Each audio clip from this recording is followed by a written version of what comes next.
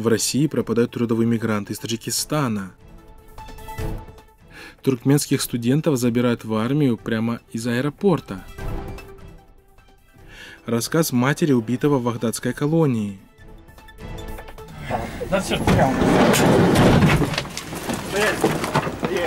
По утверждениям правозащитников, в России наблюдается тенденция пропажи трудовых мигрантов, в частности, выходцев из Таджикистана.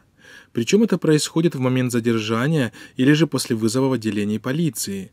Российская полиция в ответ на обращение близких отрицает факты задержания или вызова в полицию пропавших людей. Об этом пишет радио Зади.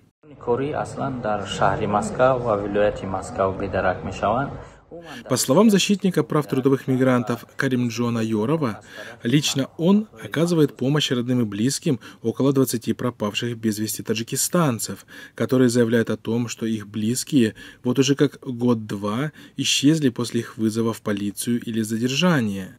Российские власти в ответ на такие обращения либо занимаются отписками в стиле «мы рассмотрим ваше заявление», либо категорически отрицают факт задержания исчезнувшего мигранта. Житель района Хамадани Хатлонской области Мирзо Зарифов разыскивает с 2017 года двоих своих братьев.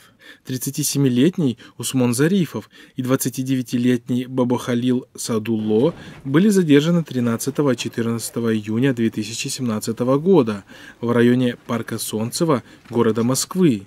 Через два дня после задержания братьев по запросу российских властей были опрошены их родственники в районе Хамадании, но больше никаких сведений о судьбе задержанных не имеется. Российские власти, как и таджикские, заявляют, что им ничего не известно о задержании худ дар бораи нафарон мепурсем ва чандин нафарон ҳам ёфтем ки онҳо дар зиндонҳои русия буданд ёки по мнению правозащитника Юрова, пропажа мигрантов превращается в обычное явление. Больше всего таких случаев происходит в городах Московской области. Власти отвечают, что мы не задерживали, или говорят, что после допроса задержанные были отпущены.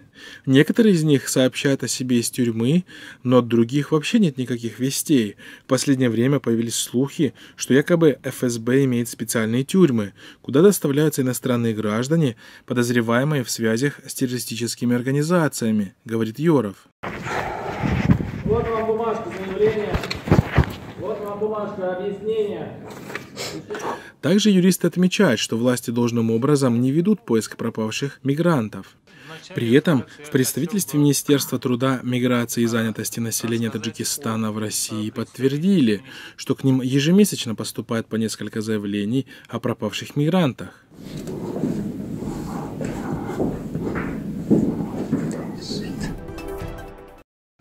Еще четыре студента, приехавшие на каникулы в Туркменистан, были отправлены в армию прямо из аэропорта. Об этом пишет хроника Туркменистана. Молодые люди прилетели из Турции в ночь на 1 июня. Двое молодых людей родом из Байрам-Али, двое других из Липапского вилаята. В международном аэропорту Ашхабада их встречали родители, но так и не дождались. 3 июня после обращения во всевозможные инстанции родители выяснили через знакомых, что их дети находятся на территории Ашхабадского военного гарнизона в качестве новобранцев. Молодых людей разместили в отделении, где находятся уклонисты от армии. В аэропорту их сразу после паспортного контроля забрали на допрос, который длился несколько часов. После этого офицер Ашхабадского гарнизона заявил, что они призваны в ряды вооруженных сил. Это уже не первый случай, когда при возвращении на каникулы студентов забирали в армию. Аналогичная ситуация произошла в мае текущего года, когда в армию забрали прямо из аэропорта студента, вернувшегося из Москвы. Мать одного погибшего в Багдадской колонии в ходе массового убийства заключенных рассказала журналистам о своем погибшем сыне. Местная жительница по имени Сакина, имя изменено, не может сдержать слез. Мой сын покинул этот мир голодным. Все, что он просил, это привезти ему что-нибудь вкусное и сытное, рыдает она. Об этом пишет EuroAsiaNet.org. Сын Сакины позвонил ей из колонии незадолго до резни, через 10 дней после начала Рамазона, и сказал, «Мама, пожалуйста, привези мне что-нибудь поесть. Мы сейчас постимся, и мне не хватает еды». 20 мая сотрудники местной милиции уведомили Сакину о том, что ее сын был убит в ходе бунта, и она может поехать и забрать тело сына из колонии. Я просто не могла в это поверить. Мы виделись совсем недавно. Он просил меня приезжать к нему как можно чаще. Он говорил, что ему ничего не нужно привозить. Главное, чтобы я приезжала, рассказывает Сакина. Когда Сакина и другие члены семьи подъехали к воротам тюрьмы, их заставили ждать в течение нескольких часов.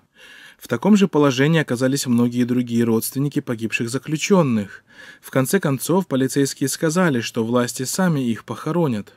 Мы начали спорить с полицейскими. Они отказывались обращаться с нами, как с людьми. Они унижали нас. Сначала они сказали, что вынесут тело, а потом сказали, что не станут этого делать. Мне даже не разрешили попрощаться с сыном. Нам так и не сказали, что произошло, как вспыхнули беспорядки, как убили моего сына, говорит Сакина. После долгих споров и унизительных упрашиваний группу родственников отвезли на кладбище в Душанбе. Там из грузовика выгрузили семь тел, завернутых в простыни. Сакина сказала, что сопровождавшие их сотрудники службы безопасности не позволили матерям увидеть лица погибших, что вызвало очередной всплеск негодования.